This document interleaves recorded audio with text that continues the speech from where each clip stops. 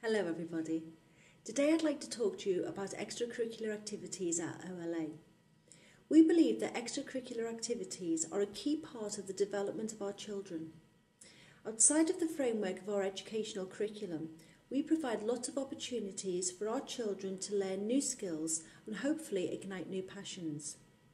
These are a vital element in any child's development and often build upon lessons and learning that begins during the school day. At OLA, we look at our children holistically to ensure we are providing ample opportunities for them to develop skills and enjoy every day to the fullest. With our clubs, our children can learn new skills.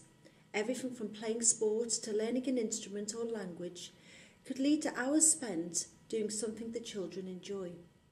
They can also be helpful in other walks of life. For example, sports are key to developing teamwork and problem solving skills, whilst learning an instrument requires perseverance, concentration and creativity. As our clubs are open to years 3 to 6, they allow the opportunity for all the children to engage with each other and broaden their social skills beyond the classroom.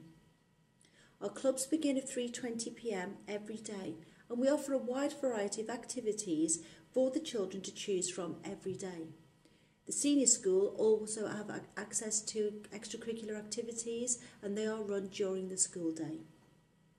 We run sports clubs such as football, netball, fitness, multi-skills and cross-country, arts and crafts, drama, DT, languages, musical clubs which include choir, and for those of you who know me well, my personal favourites, African drumming and musical theatre, which sadly I've not been able to run this term.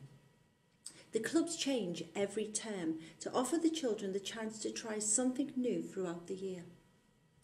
As a whole school, the children have the experience of working with our teachers from the senior school, from our specialist PE teachers to language teachers. Mr Oliver this term has introduced the low school children to Latin, which they are thoroughly enjoying.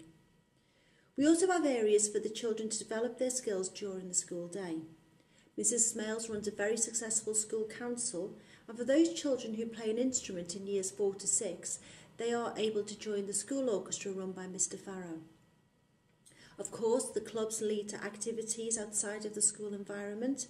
The choir have performed at Bridge House, carol services, masses and Christmas fairs, whilst the African drummers have performed in special assemblies and also outside of Waitrose. The sporting clubs offer the chance for the children to complete in fixtures representing the school.